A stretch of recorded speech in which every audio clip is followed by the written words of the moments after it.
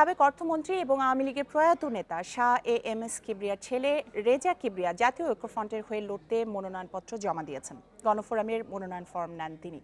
মতিঝিলে দুপুরে ডক্টর কামাল হোসেনের চেম্বারে গণফোরামের পক্ষে তিনি মনোনয়ন ফর্ম জমা দিয়েছেন। নির্বাচনে তিনি হবিগঞ্জ এক আসনে প্রার্থী হতে চান। রেজা কিবরিয়া দাবি করেছেন, আওয়ামী লীগ বঙ্গবন্ধু ও তার বাবার আদর্শ থেকে সরে গেছে। এজন্যই তিনি গণফোরাম থেকে নির্বাচনের সিদ্ধান্ত নিয়েছেন। রেজা কিবরিয়া আরও জানিয়েছেন, তার বাবার হত্যার বিচার এখন পর্যন্ত হয়নি। এই হত্যাকাণ্ডের সঙ্গে কারা জড়িত সেটিও এখনও বের হয়নি।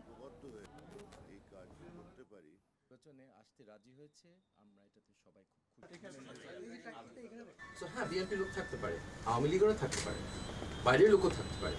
কিন্তু আমরা চাই যে আসল খুনিদেরকে চিহ্নিত করা। কোন পার্টিতে আছে? I am not really interested ঠিক পথে বাংলাদেশকে ফেরত নেওয়ার আর কোনো বিকল্প নাই এবং ডক্টর কামাল হোসেনের নেতৃত্ব ছাড়া আমি যে ধরনের বাংলাদেশ দেখতে চাই, সেটা হতে পারে না।